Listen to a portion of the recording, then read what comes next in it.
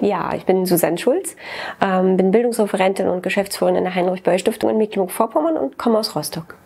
Ähm, ich glaube, dass durchaus mehr Positives nach vorne gestellt werden könnte. Also ähm, es gibt eine, also natürlich vor allem spreche ich jetzt auch wirklich ein bisschen für Rostock, da gibt es eine junge kreative Szene und ich glaube auch, dass es ähm, durchaus junge Menschen gibt, die an Politik interessiert sind und nicht nur junge Menschen, die an Politik interessiert sind. Und ähm, gerade für Rostock kann man zum Beispiel auch sagen, dass sozusagen nach 1992 eine wirklich eine erstarkte Zivilgesellschaft da ist. Und das heißt nicht, dass es nicht genug Probleme gibt, aber ähm, mir ist es schon wichtig, das Positive durchaus auch nochmal hervorzuheben.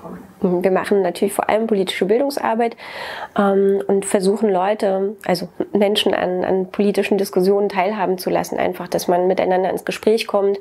Und wir machen jetzt aktuell, versuchen wir gerade ein neues Format sozusagen, probieren das erstmal aus, ähm, wo es wirklich darum geht, Leuten, Menschen auch zuzuhören, also was ihre Umbruchserfahrung 30 Jahre nach 1989 betrifft.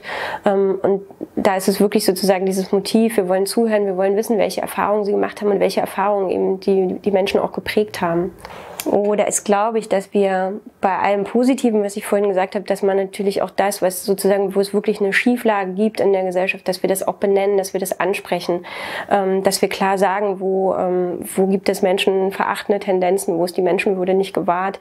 Ähm, das, glaube ich, ist unsere Aufgabe, darauf hinzuweisen, Initiativen zu unterstützen, die sich sozusagen für so ein, für ein Miteinander, für Offenheit und Toleranz einsetzen.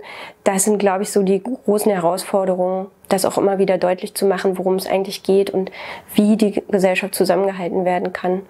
Und dann vielleicht, was mir persönlich, glaube ich, noch ganz wichtig ist und was ich mir, glaube ich, auch immer mal wieder sagen muss, dass wir manchmal aus unserem doch unserem Milieu, aus unseren grünen Lebenswelten manchmal Blasen doch öfter mal heraustreten sollten.